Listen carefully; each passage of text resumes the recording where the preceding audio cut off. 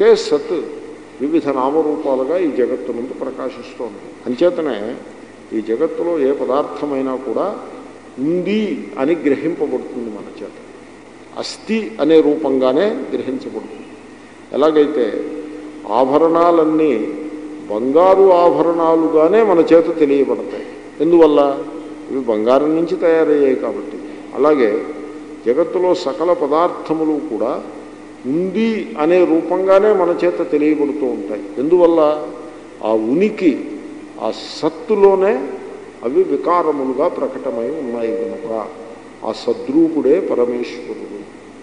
ఈశ్వరుడు సద్రూపుడు అంటే సర్వ జగత్తునకు సత్తారూపంగా ఉనికి రూపంగా అధిష్టానమై ఉన్నవాడు ఈశ్వరుడు అని ఎవరైతే దర్శిస్తారో వాళ్ళను సంత్ అని అంటారు. సత్కి ఓ సున్నా పెట్టండి. సంత్ అని అంటారు. శైవుడు అని ఎవరంటారు? ఎవరినంటారు? శైవుడు అని ఎవరినంటారు?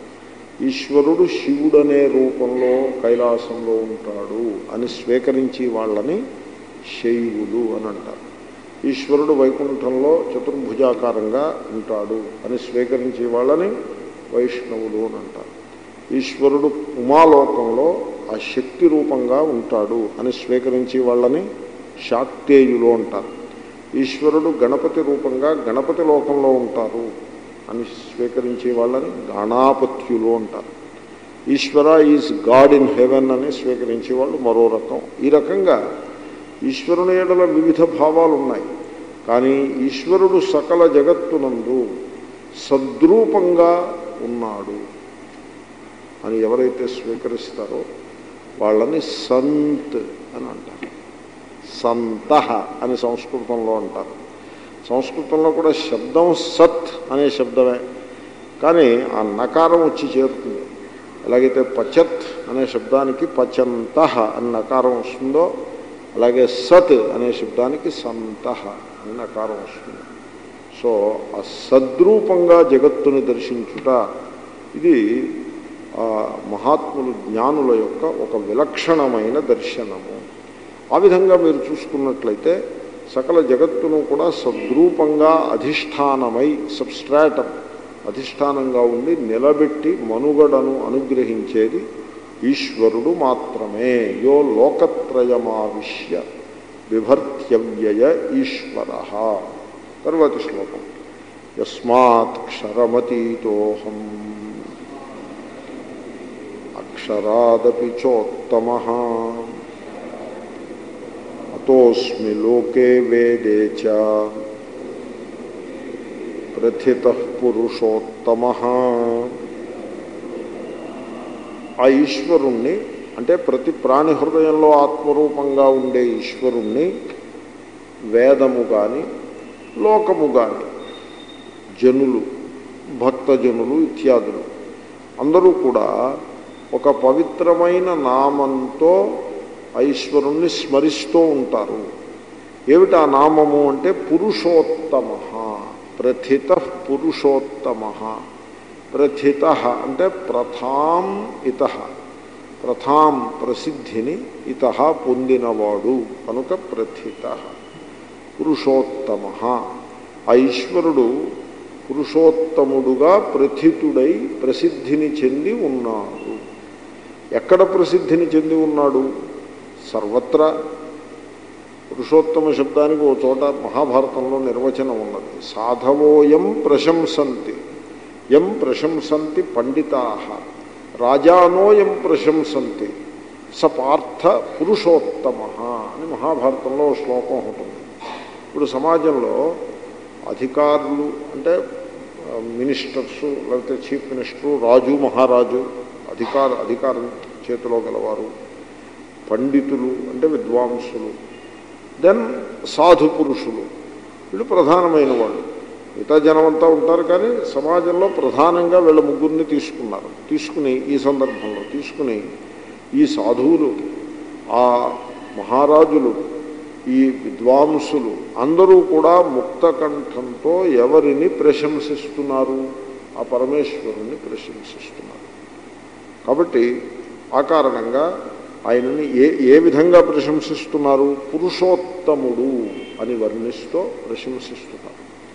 సో ఆ ఈశ్వరుడు ఆయన పురుషోత్తముడు ఈ దేహము క్షరపురుషుడు ఈ దేహంలో ఉండే పరిచ్ఛిన్న జీవభావము అది అక్షర పురుషుడు ఈ రెండింటికి అతీతంగా ఆత్మ చైతన్య రూపంగా పురుషోత్తముడే ఉన్నాడు అని ఆ విధంగా లోకంలో విద్వాంసులు సాధు సంతులు ప్రశంసిస్తున్నారు. అంతేకాకుండా వేదంలో కూడా వేద సా వేద తాత్పర్యాన్ని పుణికిపుచ్చుకున్న గీత ఇత్యాది శాస్త్ర గ్రంథాల్లో కూడా సరిగ్గా ఇదే విధంగా ఆ పురుషోత్తముణ్ణి ప్రశంసిస్తున్నారు. సో ఆ పురుషోత్తముణ్ణి చేరుకునేది ఎలాగా? ఆ మెథడ్ ఇక్కడ చెప్పారు.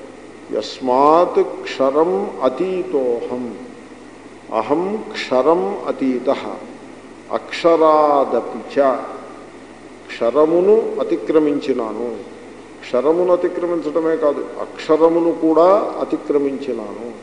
అప్పుడు ఏమైపోతాను? క్షరాన్ని అక్షరాన్ని అతిక్రమిస్తే ఏమైపోతాను? ఉత్తమ.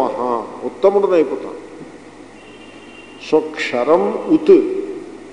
అక్షర ఉత్తర. తర తమ. పురుష పురుషోత్తమ ఉత్తమ. మూడవది. సో మనం ఏం చేయాల్సి ఉంటుందంటే ఆ పురుషోత్తముని విషయంలో మీకు భేదభావన అనుభవానికి వచ్చినప్పుడు వస్తుంది. భేదం అనుభవానికి వస్తుంది. ఎప్పుడు అనుభవానికి వస్తుంది? ఈ దేహమునందు పరిచ్ఛిన్న జీవభావమునందు నిష్ట గలవాడికి పురుషోత్తముని ఎడల భేదమే అనుభవానికి వస్తుంది. ఆ భేదము అనుభవానికి వచ్చినంత కాలము శ్రీరామకృష్ణుల వారు చెప్పినట్టుగా నేను ఆ పురుషోత్తమునకు శరణాగతి చేసిన భక్తుడను సేవకుడను అని భక్తి చేయాలి. ఆ భక్తి కూడా భేదపూర్వకంగా చేస్తున్నాం కదా. ఈ భేదము ప్రావిషనల్ అంటే ఇది స్థాయి భేదం కాదు. ఇప్పట్లో నాకు భేదం అనుభవానికి వస్తోంది కాబట్టి నేను భక్తి చేస్తున్నాను అని భక్తి చేయాలి. ప్రావిషనల్గానే చేయాలి భక్తి సో ఇది ఎలాగంటే ఒక వ్యక్తికి ప్రమోషన్ వచ్చింది. ప్రమోషన్ వస్తే మొత్తం ఆఫీస్కి ఇన్ఛార్జ్గా ప్రమోషన్ వచ్చింది సూపరింటెండెంట్గా ప్రమోషన్ వచ్చింది. అయితే ప్రమోషన్ ఎప్పుడు ఎఫెక్టివ్గా వస్తుందంటే ఫస్ట్ తారీఖు నుంచి ఎఫెక్టివ్ అవుతుంది. ఫస్ట్ తారీఖు దాకా సూపరింటెండెంట్లని హడావిడి చేయకూడదు. ఫస్ట్ తారీఖుని ఎఫెక్ట్ అవుతుంది. అంతవరకు తను ఏ పొజిషన్లో ఉన్నాడో ఆ పనే చేస్తూ ఉండాలి. ఫస్ట్ తారీఖు వచ్చాక ఇంకా దీన్ని చేయడం సరికాదు. ఫస్ట్ తారీఖు వచ్చాక కూడా ఇంకా ఇక్కడ నేను ఎల్డీసీగా రాసుకుంటూ కూర్చుంటానంటే తప్పు. ఫస్ట్ తారీఖు రాగానే వెళ్ళిపోయి సూపరింటెండెంట్ స్థానంలో కూర్చుని అధికారాన్ని మనం చలామణి చేయాలి. అదేవిధంగా భేద ఇప్పుడు నాకు భేదం అనుభవానికి వస్తుంది. దేహమునందు ఇంకా అభిమానం దేహమునందు అభిమానం ఉంటే అభేదం ఎలా అనుభవానికి వస్తుంది? దేహాభిమానం ఉన్నంతకాలము భేదమే అనుభవానికి వస్తుంది. కాబట్టి భేదానుభవం తప్పంటలేదు అద్వైతులు భేదానుభవం తప్పనరు. భేదానుభవము సత్యము కాదు. భేదానుభవమే సత్యం అనుకోకయా అని చెప్తారు. ఇప్పుడు సూర్యుడు తూర్పును ఉదయించి పశ్చిమాన అస్తమిస్తున్నాడు. ఇది అందరి అనుభవం ఇది. అందరికీ ఇదే అనుభవం. ఫిజిక్స్ యాస్ట్రానమీ చదువుకున్న వాళ్ళకే అదే అనుభవం. ఏ చదువు లేని ఒక చదువు రాని మూర్ఖుడికి కూడా అదే అనుభవం. తూర్పును ఉదయించి పశ్చిమాన్ని అస్తమిస్తారు కానీ అజ్ఞాని ఎవరంటే ఈ కనపడే ఈ వ్యవస్థ ఏదైతే తూర్పును ఉదయించి పశ్చిమాన్ని అస్తమించుట అనే ఈ కనపడేది ఏదైతే ఉందో ఇదే సత్యము అనుకోవడం అజ్ఞానం. అనే లోకదృష్టి అంటారు. శాస్త్ర దృష్టి ఏమిటి?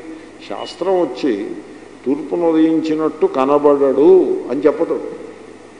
అస్తమించినట్లు సూర్యుడు కనబడడు అని కూడా శాస్త్రం చెప్పదు. శాస్త్రం పైగా ఏమని చెప్తుందంటే చూడవయా ఉదయించినట్టుగాను అస్తమించినట్టుగాను కనబడతాడు కానీ వాస్తవంలో సూర్యుడికి ఉదయాస్తమయాలు లేవు. అని ఆ కనబడడానికి కూడా హేతు చెప్తుంది. ఈ సూ- భూమి తిరగడం మూలంగా అలా అనిపిస్తోందమ్మా నీకు? సూర్యుడికి ఉదయాస్తమయాలు అయ్యాటే ఏమిటి వెరిమొహం సూర్యుడికి ఉదయాస్తమయాలు ఉండవు అని చెప్తుంది శాస్త్రం. కాబట్టి ఉదయాస్తమయములు అనుభవానికి రావు అని చెప్పట్లేదు. అలాగే సబ్జెక్ట్ ఆబ్జెక్ట్ డివిజన్ ద్రష్టాదృశ్యము అనే డివిజన్ విభాగము లేదు అనుభవానికి రాదు అని శాస్త్రం చెప్పదు.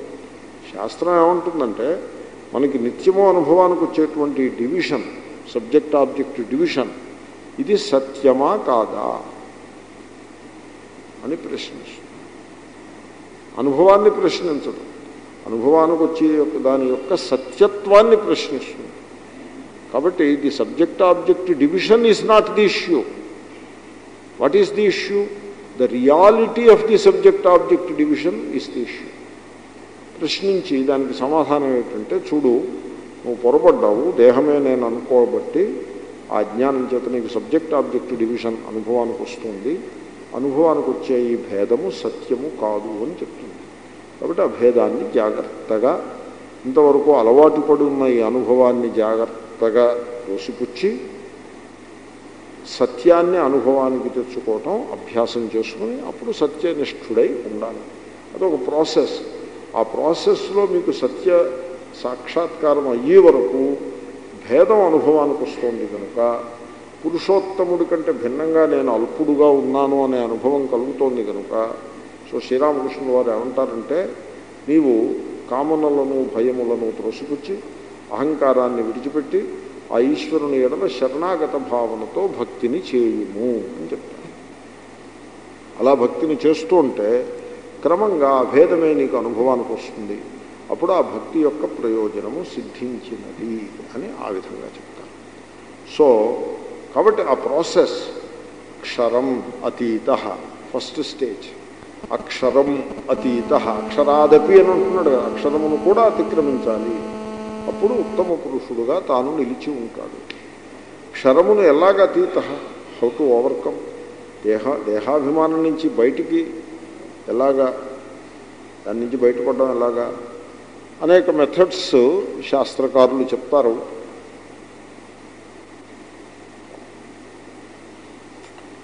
ముందు అసలు శ్రవణం చేయాలి. శాస్త్రాన్ని శ్రవణం చేసి నేను దేహం నేను నేను యొక్క యథార్థ స్వరూపము దేహము కాదు అనే సత్యాన్ని ముందు తెలుసుకోవాలి. తెలుసుకున్న తర్వాత దాన్ని మననం చేయాలి. అంటే మననం చేయడం అంటే మనం ఏదైనా గ్రంథాలు చదివినప్పుడు ఇదే సత్యాన్ని బాగా దృఢంగా అనుభవానికి వచ్చేట్లాగా బోధించేటువంటి గ్రంథాలు చదవాలి.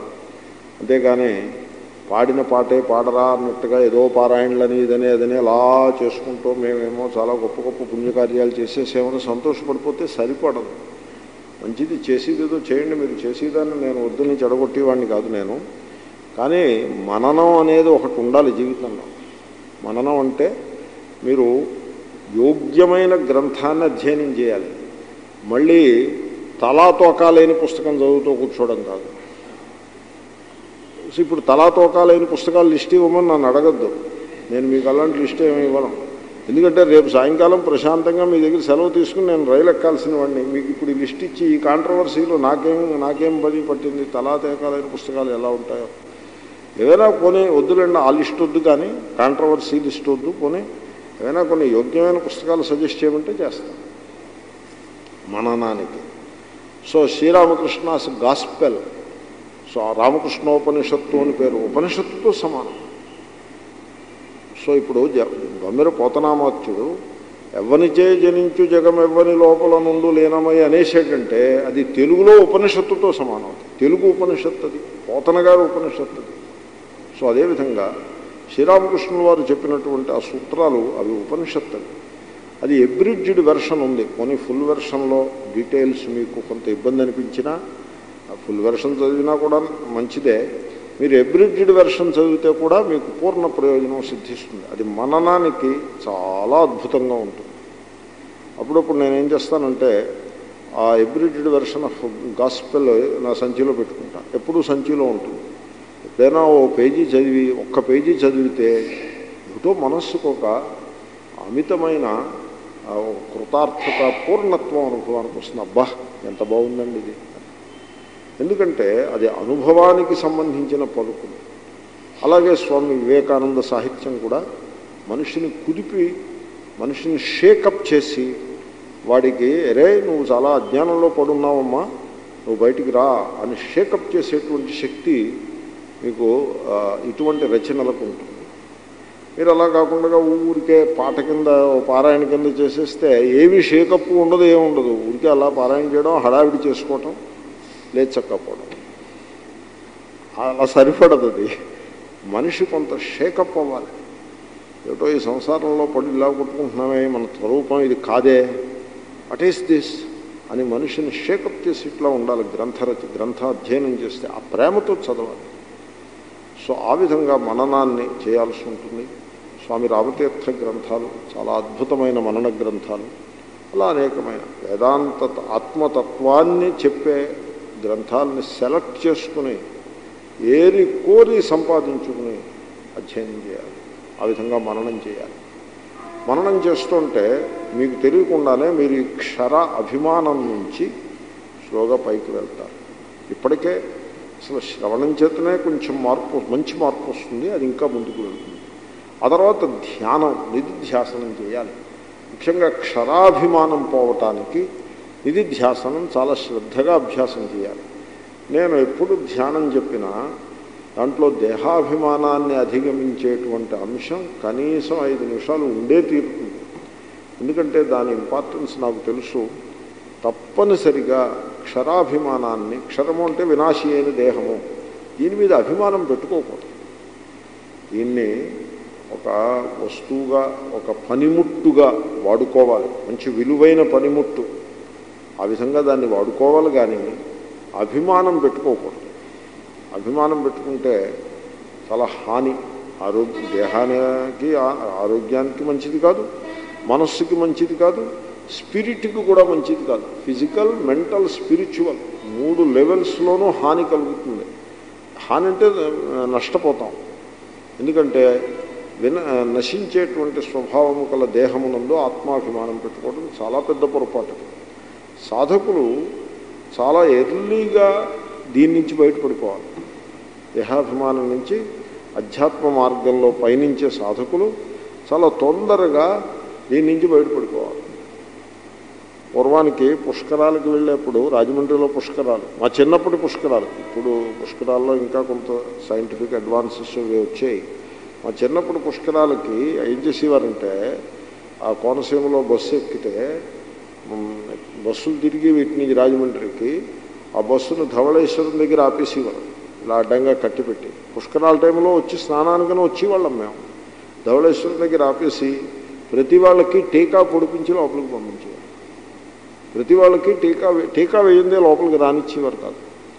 తప్పించుకునే ఉపాయం లేదు. మీరు బస్సు రావడం మానేసి మరి ఇంకేదైనా చేస్తే తప్పించుకోవాలి కానీ బస్సు ఎక్కి రాజమండ్రిలో దిగి స్నానం చేసి ఏదో దర్శనము దేవ దర్శనం ఏదో చేసుకుని ఏదో టిఫిన్ ఏదో తిని అప్పుడు వరదరావు హోటల్లో ఒకటి ఉండేది. దాంట్లో ఒక ప్లేట్ ఇడ్లీ తిని మళ్ళీ బస్సు ఎక్కి వెనక్కి వెళ్ళిపోయేవాళ్ళం.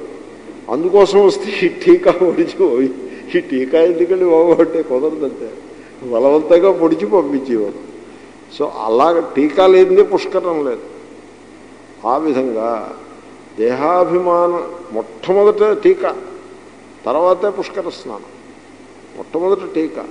పుష్కర స్నానం వచ్చి వేయించుకుంటాం మేమంటే ఒప్పుకోరు. అదేవిధంగా దేహాభిమానాన్ని త్యాగం చేయడం ఫస్ట్ స్టెప్ అది. ముందు ఆ పని చేసి మీరు తర్వాత మాట తర్వాత మాట్లాడతారు. అధ్యాత్మ మార్గంలో అటువంటి ఇంపార్టెన్స్ ప్రాధాన్యం దానికి ఉన్నది. యస్మాత్ క్షరమతీతోహం.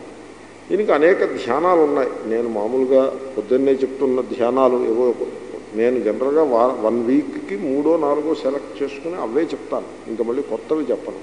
ఎందుకంటే ధ్యానం ఇంత ధ్యానం అక్కర్లేదు. మూడు నాలుగు అంశాలని పకడ్బందీగా నేర్చుకుంటే సరిపడుతుంది అది చేస్తే సరిపడుతుంది. సో ఈ అంశంలో ఇంకా కొన్ని ధ్యానాలు కూడా చేసేందుకు అవకాశం ఉంది. నేను బ్రీఫ్గా మెన్షన్ చేస్తాను. అంటే క్షరము నుంచి అతీతుడిగా వెళ్ళటానికి ఇలా ఇలా నిటారుగా కూర్చుని ఉడికే వినండి అంతే ఇంటి దగ్గర అభ్యాసం చేయండి. మీకు నచ్చినవి కొన్ని తీసుకుని ఇలా నిటారుగా కూర్చుని ఇలా కళ్ళు మూసుకుని చిరునవ్వుతో చిరునవ్వుతో చేయాలి. బుద్ధుడి బొమ్మ గుర్తుపెట్టుకోవాలి. బుద్ధుడి బొమ్మలో చిరునవ్వు ఉంటుంది. ఆ కనురెప్పలు ప్రామినెంట్గా ఉంటాయి. ఇలా ఇలా మూసు అంటే కనురెప్పల్ని మీరు చూడాలన్నమాట. అవి సగం మూసి ఉంటాయి. సగం మూసు మరి ఆ చిత్రకారుని బట్టి ఉంటుంది. సో అలా అరమోడుపు కన్నులతో చిరునవ్వుతో ఏమైనా అభ్యాసం చేయాలంటే ఈ దేహము అస్థిపంజరము అని అభ్యాసం చేయాలి. మధ్య మాంసము చర్మము రంగు రుచి ఇంకివేమీ కాదు. కేవలం అస్థిపంజరము. సో స్కెలిటల్ మెడిటేషన్ అంట అస్థిపంజరము అని అభ్యాసం చేయాలి. అలా అభ్యాసం చేసినట్లయితే దేహం మీద ఉండే వెర్రి మమకారం పోతుంది. వాస్తవంలో అస్థిపంజరమే కదా? అస్థిపంజరమే. దీనికి ఓ ఉపాయం ఒకటి ఉంది. నా నేను ఇచ్చే రికమెండేషన్ ఈ అస్థిపంజరం ఒకటి వేళ్ళాడి తీస్తూ ఉంటారు అక్కడక్కడ. ఎక్కడ వేళ్ళాడి తీస్తారో? డాక్టర్ ఆఫీసుల్లో పూర్వం వేళ్ళాడి తీసేవారు. ఇప్పుడు కొంచెం ఫ్యాషన్లు ఎక్కువై తగ్గించారు. ఎక్కడ అస్థిపంజరం ఎక్కడ వేళ్ళాడి తీశారో ఆ ఆఫీస్కి ఒకసారి వెళ్ళి ఆ అస్థిపంజరాన్ని పరికించి అలాగ దాన్ని అలా పదిసార్లు చూసి మనస్సులో అస్థిపంజరం బాగా ముద్రపడింది అని నిర్ధారించుకుని ఇంటికి వచ్చి ఈ దేహాన్ని అస్థిపంజరంగా ధ్యానం చేయాలి. Skeleton meditation. Which it is మీరు కొత్తగా లేనిది ఆరోపించక్కర్లేదు. లేనిది ఆరోపించటం అని ఒక ప్రక్రియ ఉంటుంది. విచ్ ఈజ్ ఆల్ రైట్ కానీ ఇక్కడ అది కాదు. ఇక్కడ ఉన్నదాన్ని ఉన్నట్టుగా దర్శించటమే. సో ఇది స్కెలిటన్ అస్థిపంజరం. నిజానికి ఓ మహాత్ములు ఉన్నారు స్వామి ప్రజ్ఞారణ్య అని. ఆయన ధ్యానంలో ఆయన చాలా నిష్ణాతులు నాకు బాగా కావలసిన మిత్రులు మహాపురుషులు. సో వాళ్ళ దగ్గర నేను ఎన్నో నేర్చుకున్నాను. ఎనీవే వారు ఈ స్కెలిటన్ మెడిటేషన్ చేయిస్తారు విద్యార్థుల చేత. గంటల తరబడి మెడిటేషన్ చేయిస్తారు స్కెలిటన్ మెడిటేషన్. ఆ మెడిటేషన్ అయిన తర్వాత వాడికి ఇంకా అస్థిపంజరాలతో ఇంకే కలపడం. ఎటు చూసినా అస్థిపంజరాలే తను అస్థిపంజరం భార్య అస్థిపంజరం పిల్లలు అస్థిపంజరాలు. ఈ కొంపంతా అస్థిపంజరాలే. అలా చేయిస్తారు. సో ది పాయింట్ ఈజ్ అటువంటి ఆ మెడిటేషన్కి అంత పవర్ ఉంది. అలాగ మీరు మెడిటేషన్ చేసినట్లయితే ముందు కొంత దేహాభిమానం తగ్గుతుంది. లేకపోతే ఏమిటి? ఇక్కడ కిడ్నీ ఇక్కడ లివర్ ఇక్కడ హార్టు లంగ్స్ అని ఈ పేర్లు పట్టేసుకుని దేనికి రోగం వచ్చేస్తుందో అని ఇలా బితుకు బితుకుమంటూ బతకడం అది పద్ధతి కాదు. ఓ వచ్చి రోగాలు వస్తే మందులు వేసుకుంటాం. All that is okay. But అస్థిపంజరా meditation చేసినట్లయితే దేహాభిమానం తగ్గుతుంది నెంబర్ వన్. ఇలాంటి చెప్పమంటారా? ఇలాంటి రెండు మూడు మెడిటేషన్స్ ఓకే. Number two. దేహాన్ని ఇప్పుడు ఈ దేహము ఇప్పుడు ఒక మ- ప్రతివాడు మరణిస్తాడు కదండి. మరణించకుండా ఎవడో ఉండడు కదా. సపోజ్ నేను మరణించానని అనకూడదు. తప్పదు. నేను అది ఆత్మది బ్రహ్మది అవినాశి. కాబట్టి ఈ దేహము మరణించింది అని భావన చేయాలి. ఈ దేహము పడిపోయింది శిథిలమైనది. ఇప్పుడు ఏమో ఏం చేస్తారు? ఏం చేస్తారు? బూడిద చేసేస్తారు. కాల్చి బూడిద చేస్తారు. దేహానికి మూడే అవస్థలు వస్తాయి. దాన్ని పాతి పెడితే మట్టి అవుతుంది తగలబెడితే బూడిద అవుతుంది అది అలాగే వదిలిపెట్టేస్తే పార్సీలు అలా వదిలిపెట్టేస్తారు. అది పక్షుల యొక్క రెట్ట అవుతుంది. మూడే. భాగవతంలోనే చెప్పారు. నాకు ఆ శ్లోకం గుర్తులేదు కానీ మూడే. ఎందుకంటే ఏ దేహాన్ని వదిలిపెడితే పక్షులు భక్షిస్తాయి రాబందులు అవి భక్షిస్తాయి. భక్షిస్తే ఏమిటవుతుంది? యూనో సో మూడే దీనికి గతులు. ఈ దేహాన్ని ఏం చేస్తారు అని ఎవరికి వాళ్ళు ధ్యానం చేసుకుని బూడిదవుతుందని అనుకుందాం ఏదో ఒకటి తీసుకోవాలి కాబట్టి బూడిదని తీసుకోవాలి లేకపోతే మట్టిని తీసుకోవాలి. సో అలా తీసుకుంటే సరిపడుతుంది. బూడిద అని తీసుకోవాలి. ఈ దేహము బూడిద. బూడిద అవుతుంది కదండి. కొని ఈ- ఈవేళ రేపు కాకపోవచ్చు. పోనీ ఏడాది తర్వాత పోనీ ఏడాది ఇంకా టూ ఇయర్లే పోలండి పదేళ్ళ తర్వాత బూడిద అవుతుందా పోనీ పది కూడా టూ ఇయర్లే ముప్పై ఏళ్ళ తర్వాత ఏమిటవుతుంది? ఇది కాబట్టి ఈ దేహమును బూడిద అని ధ్యానం చేయాలి. ఆ ధ్యానంలో ఉండే రహస్యం ఏంటంటే దేహము అస్థిపంజరం. మీరు అస్థిపంజరం కాదు. మీరు అస్థిపంజరాన్ని దర్శించే చేతన తత్వం ఆ తేడా తెలిసిపోతూ ఉంటుంది. అలాగే దేహం బూడిదన్నాం కానీ నేను బూడిది కాదు. నేను ఆ బూడిదని దర్శించే చేతనుడను అని తన యందు చేతనత్వము దృఢపడుతుంది. దేహము నశ్వరము అనే ఆ సత్యం కూడా మనస్సుకి బాగా దృఢంగా వస్తుంది. ఇవి ఈ మెడిటేషన్స్ చాలా యూస్ఫుల్ మెడిటేషన్స్. తర్వాత క్షరము అంటే పంచభూతములు అష్ట అష్టవిధ ప్రకృతి అని చెప్పాం కదా. సో భిన్నా ప్రకృతి రష్టథ. అది కదా క్షరము అంటే. సో ఆ పంచభూతములని బేసిస్గా చేసుకుని ధ్యానం ఉన్నది. నేను కూడా ఇది వరకున పంచభూత ధారణ అని కొంత చెప్తూ ఉండేవాడిని. అది క్షరపురుషుడికి క్షరతత్వానికి అతీతంగా వెళ్ళి ప్రయత్నమే అది దాన్ని కూడా ఎలా చేయొచ్చంటే ఇంకో రకం ధ్యానము. దీన్ని కొంచెం కాషస్గా మీరు అభ్యాసం చేసి చూడండి. ముందు అసలు అర్థం చేసుకున్న తర్వాత అభ్యాసం. ఎలాగంటే కళ్ళు మూసుకుని పృథివీ పూర్తిగా జలమయం అయిపోయింది ప్రళయం వస్తే ఏమవుతుందండి? జలమైపోతుందని చెప్పేసి వర్ణిస్తారు కదా. సో ఇప్పుడు సునామీ వస్తే ఏమవుతుంది ఈ సునామీ వచ్చి మొత్తం ప్రపంచం అంతా కూడా జలమయం అయిపోయిందనుకోండి అలా ఊహించడమే చేయాల్సిందేం లేదు. మొత్తం పృథివంతా జలమయం అయిపోయింది ఇంక జలం తప్ప ఏం లేదు. జలం తప్పేం లేదంటే అర్థం ఏంటో తెలుసిన? నా ఇల్లు వాళ్ళ ఇల్లు మా ఆశ్రమాలు ఇవి ఇంక అవి కూడా ఏమి ఉండవు. ఏది ఉండదు. తర్వాత దేహం కూడా ఉండదు. దేహం ఇది పృథివీతత్వం కదా. సాలిడ్ లోపల జలం ఉన్నా పృథివీ భాగము పోతుంది ఇంకేం ఉండదు. కాబట్టి నా దేహము వాడి దేహము ఈ దేహము ఆ దేహము ఇవే ఉండవు. అన్నీ పోతాయి. కేవలము జలతత్వం ఒకటే మిగిలి ఉంటుంది. అది ధ్యానం చేయటం. అది ధ్యానం చేస్తే ఏమిటవుతుందంటే తను పరాయి అనే భేదం పోతుంది. శత్రుమిత్ర భేదం పోతుంది. నాది పరాయి వాడిది నాది కాదు అనే విభాగం పోతుంది. స్వపర అనే భేదం పోతుంది. ఇవన్నీ పోతాయి. ఈ వాసనలన్నీ కూడా పోతాయి. ఎందుకంటే ఆ ధ్యానంలో అలాంటి మహిమ ఉన్నది. సో సర్వము జలము. జలం తప్ప ఇంకేం లేదు. చిత్రం ఏంటంటే దేహం కూడా జలంలో కలిగి కరిగిపోతుంది. కానీ చేతనుడనైన నేను మాత్రం నిలిచి ఉంటాను. అన్ని సందర్భాల్లో చేతనుడనైన నేను నిలిచి ఉంటాను అలాగా కొంతకాలం జలాన్ని ధ్యానం చేయాలి. ఆ తర్వాత ఇంకేం ధ్యానం చేయాలంటే సర్వము తేజస్సు తప్ప ఇంకేం లేదు. జలమంతా కూడా తేజస్సులో ఆవిరైపోయింది. జలం కూడా అగ్నిలో కలిసిపోయింది. క్రమం అదే కదా. విలాపన క్రమం అదే. కాబట్టి తేజస్సు తప్ప ఇంకేం లేదు. ఇంక దేహం లేదు పృథివీ లేదు జలం లేదు ఏమీ లేదు. తేజస్సు మాత్రమే ఉన్నది. అని ధ్యానం చేయాలి. ఈ ధ్యానం ఓసారో రెండు సార్లు కాదు. ఓ వారం రోజులు చేసేయటం పృథివీ జలధ్యానం. ఇంకో వారం రోజులు తేజస్సు ధ్యానం. మీరు చేసి చూస్తే తెలుస్తుంది. చెప్తుంటేనే మీకు అనిపిస్తుందా లేదా? అనిపిస్తుందండి that is how it is really మీకు అనిపించలేదంటే ఇంక మరి నేనేం చెప్పను?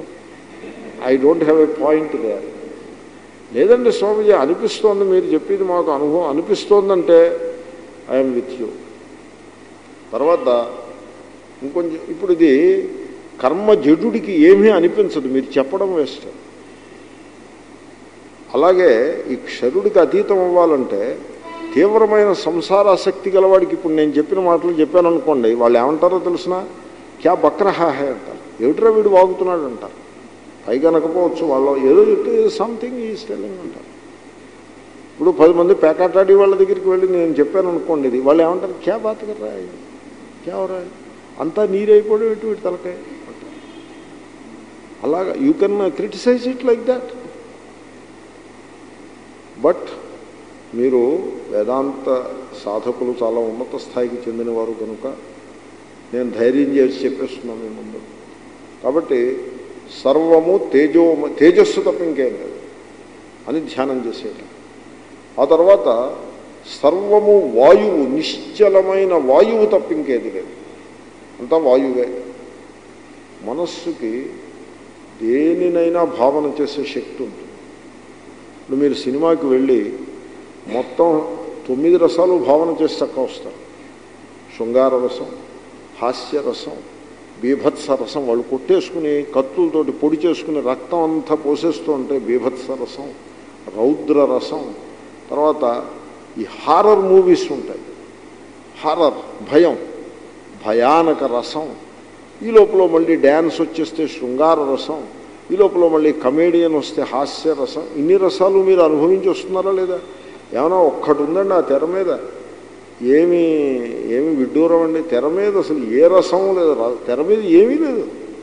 బట్ ఇవన్నీ మీరు అనుభవించి వస్తున్నారా లేదా? సో మనస్సుకి ఆ భావనాశక్తి చాలా గొప్ప భావనాశక్తి ఉన్నది. అది మనం దాన్ని మనం వినియోగానికి తెచ్చుకోవాలి. దాని పేరే ధ్యానము అంటారు. ఈ భావనాశక్తికి ఒక మార్గాన్ని ఒక ఛానల్ ఏర్పాటు చేస్తే దాన్నే ధ్యానము అంటారు. సో ఆ విధంగా ధ్యానం చేస్తూ సకల జగత్తు కూడా నిశ్చలమైన వాయురూపము అని ధ్యానం చేయాలి. వాయువుకేం రూపం ఏమి ఉండదు. అలా ధ్యానం చేయడమే అంతే. Don't ask how just do it అంతే. ధ్యానాన్ని ఇంకా హౌ ఏముంటుంది దానికి? సో నిశ్చలమైన వాయురూపము అని ధ్యానం చేయాలి. ఆ తర్వాత సకల జగత్తు ఆకాశము తప్ప ఇంకేదీ లేదు అని ధ్యానం చేయాలి. ఆకాశ ధ్యానం. ఆకాశ శరీరం బ్రహ్మ అని ఉపనిషత్తు కూడా చెప్తోంది. దేవుడికి శరీరము అంటే ఏదో ఏదో ఉపాసన కోసం ఈ రూపం ఆ రూపం ఏవో కొన్ని రూపాలు మహర్షులు చెప్పిన మాట వాస్తవమే కానీ దేవుడికి యథార్థమైన శరీరం ఆకాశం. ఆయనకి దిగంబర అని పేరు. దిగంబర అంటే మన వాళ్ళు బట్టలు లేకుండా ఇటు తిరిగేవాడు అనుకుంటారు. ఏం చెప్పమంటారు? అక్కడికి వచ్చింది మన వేదా మన చదువులో అక్కడికి తేలే. సో అలాగ అలా ఉంటే ఇంకా ఏమీ చెప్పడానికే లేకుండా అయిపోతుంది. అంత అధమ స్థితికి చేరుకుంటే. దిగంబరుడు అంటే ఒడ్డు మీద బట్టలు లేకుండా ఇటు అటు తిరిగేవాడని కాదు. దిగంబరుడు అంటే ఈ దిక్కులు. అంటే ఆకాశమే వస్త్రముగా గలవాడు. ఎవరు?